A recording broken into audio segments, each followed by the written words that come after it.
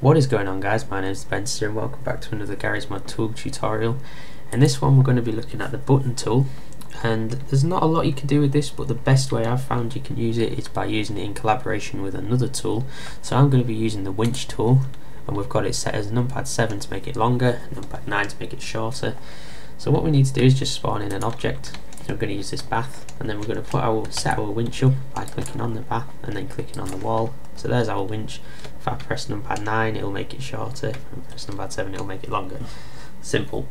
So now we need to remember what button we've got for making it shorter which is numpad 9 and then we get our button tool and we also set that to numpad 9 like that and then we pick whichever button we want I'm going to go for this one and you've also got the toggle here so you can either have it so you press it and it moves it all the way in or you have to hold it to move it to whatever distance you want.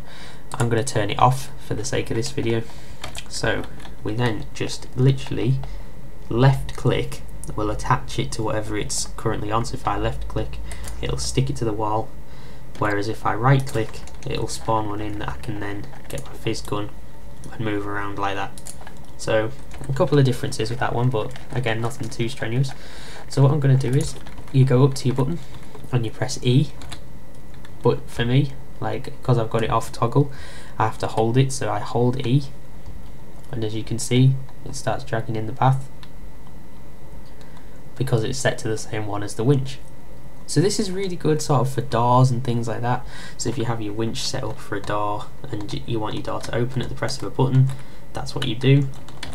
You just press your button and the door will open. So we need to spawn in another one to lower it back down. So we set this one to numpad 7 and then we'll get a different type of button. We'll put it on there. And again just holding it we'll bring it back down all the way to the bottom and you, you don't only have to use this with the winch tool you can use it with other things like dynamite you can use it with pulleys and motors and all sorts basically it's just a different way to trigger different um, tools in the game so that's pretty much all you can do with this tool. It's fairly simple but it's another good one to know about.